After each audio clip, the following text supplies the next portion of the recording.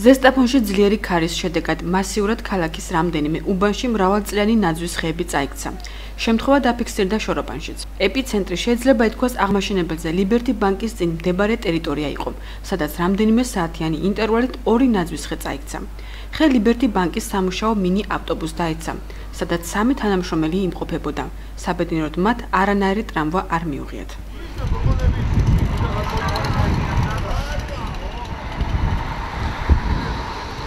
ძლიერი ქარის გამო მოხდა მოითხარა ხე ტროტუარზე და დაეცა ჩვენი ლიბერტი ექსპრესის ავტომობილს.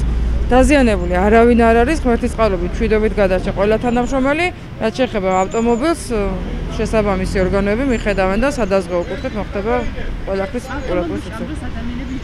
სამუშაო პროცესი იყო ჩვეულებრივად, ნაწილი შესვენებაზე იყო, ნაწილი მუშაობდა და ავტომობილის შემდგომ ადამიანები იყვნენ კიბე.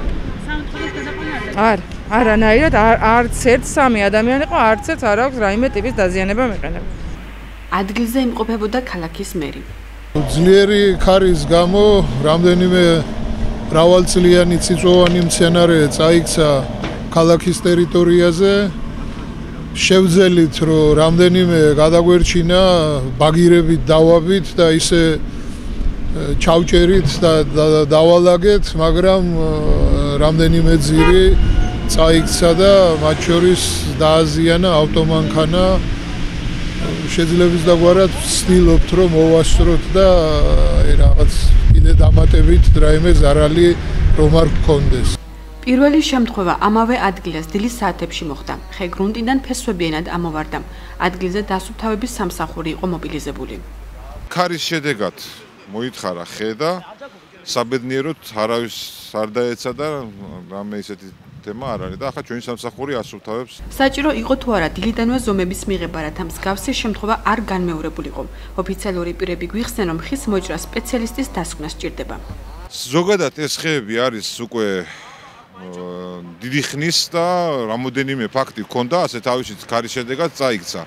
ამას სპეციალისტებმა უნდა შეისწავლონ და დადონ დასკვნა და მის მის მიხედვით მიმოქმედებს მერე ჩვენ. თუ არ საშუალებაა კიდევ ერთი ხე წაიქცეს.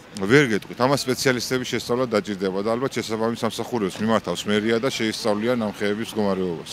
სხვა ხეს მოჭრას არ აპირებთ. არა, ჩვენ არა, აი წაქცეულია, ფესვები იყო ამოგდებული და ამას ვასრულთავებთ. ფაქტია, რომ ქალაქის ტერიტორიაზე განთავსებული ხეების მონიტორინგს ბიუროკრატიული წესები ეღობება. როგორც დასუფთავების სამსახურის უფროსი განმარტავს, ამ მომენტისთვის დაზიანებულ ხეებს აკვირდებიან და საჭიროების შემთხვევაში ჭრიან. მისივე თქმით, ქალაქის ტერიტორიაზე რისკის შემცვლელი ადგილები ფიქსირდება. გვაქვს რამდენიმე ადგილზე კიდევ აღმაშენებლის ქუჩაზე, რომელიც უკვე ფესო დაძრული აქვს და ვაპირებთ მის მოჭრას. მაღალი ქარი იყო და ამის შედეგად დაზიანებული ქონდა ესე იგი ძირა ფესო და მოხდა მისი წაქცევა. არა, კიდევ ქონდა დღეს საქარხნო ქუჩაზე, გავანთავისუფლებთ გზაზე იყო პირდაპირ დაცემული ხე გავხსენით, მეორე აღმაშენებელის ქუჩაზე, მესამე აი აქ იყო ლიბერტი ბანკის წინ. ეს მეოთხეა უკვე და კიდე გვაქვს ზემოთ აღმაშენებელის ქუჩაზე ვაპირებთ მის მოჭრას. არა, გადარჩენ რა, მშვიდობიანად მოხდა ყველაფერი. ანუ პრევენცია იქნება და ხები მოიჭრება ისაც. რა თქმა უნდა, რომელიც არის უკვე შეინიშნება, რომ დაზიანებული აუცილებლად გადავჭრით. რჩება კითხვა, რამდენად დაცულია გამლელი სტიქიური მოვლენა, როგორც წესი ვერ კონტროლდება. თუმცა ქალაქში ცენტრალურ უბანში განლაგებული ნაძვების მონიტორინგი შესაძლებელია. როგორც ვიცით, ნაძვის აქცევა აღმაშენებლის ქუჩაზე პირველი არ არის და ის წინა წლებშიც მომხდარა. აუცილებელია ვიცოდეთ, რამდენად არის დაზიანებული ხეების ფესვთა სისტემა, რადგან მსგავსი შემთხვევა შეიძლება ყოველთვის მშვიდობიანად არ დასრულდეს.